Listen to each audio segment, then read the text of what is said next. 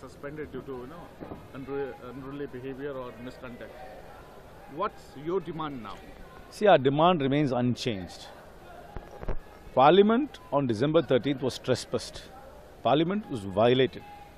The centrality of Parliament, the Lok Sabha, was trespassed by two people who jumped in from the visitors' gallery with canisters in their hand. Just because there were no fatalities or any injuries, we are downplaying the incident. If those intruders had uh, you know, poisonous substance in their canisters, the, the, the consequences would have been very severe. All we want is for the Home Minister of India to give a statement on the status of the investigation and what actually happened on 13th of October of December on the floor of the House in the presence of the Prime Minister. That's all we're asking. The, the, the, the Home Minister and the Prime Minister are speaking about the, exactly the same thing through media channels outside. Why can't they take the House into confidence? The House is in session. Why don't they respect the House, take the House into confidence and make a categorical short statement? That's all we're asking. I mean, the only thing which is preventing them is their ego.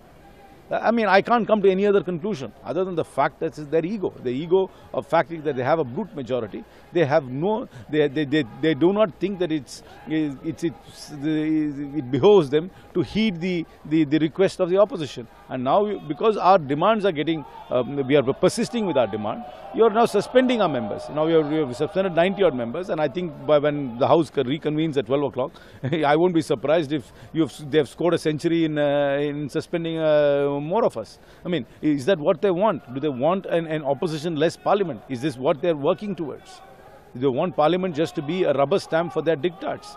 Why can't they respect Parliament, come and make a categorical statement? And in my, in my assessment, it's only their ego which is preventing this. Do you justify the way they are protesting at the Makar How else, how else should we protest? Please, please give us, give us, give us options to protest. What should we do? We could have a silent protest.